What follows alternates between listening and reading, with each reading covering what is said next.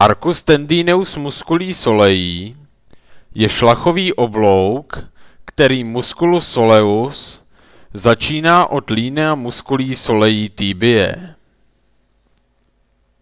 Pod tímto obloukem probíhá nervus tibialis spolu s arteria et vene tibiales posteriores.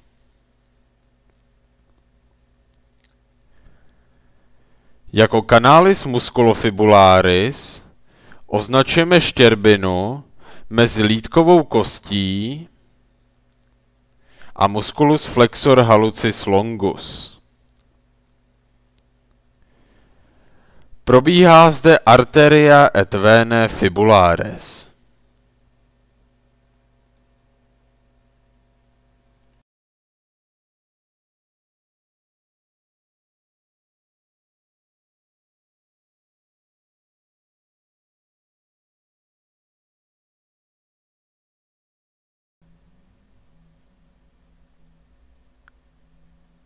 Nyní si oddemonstrujeme arcus tendineus musculi solei a canalis musculofibularis na preparátu. Rozsah záběru kamery je na schématu vyznačen červenou plochou.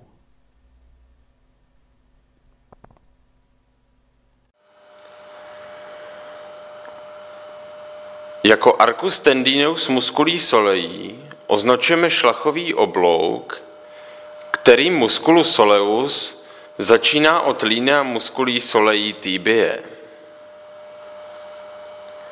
Pod tímto šlachovým obloukem probíhá nervus tibialis,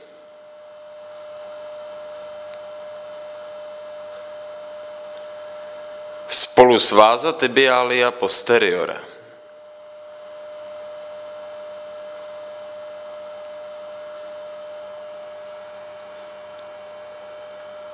Canalis musculofibularis je štěrbina mezi fibulou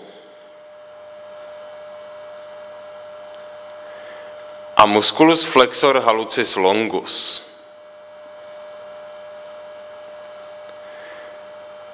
Probíhá zde váza fibulária.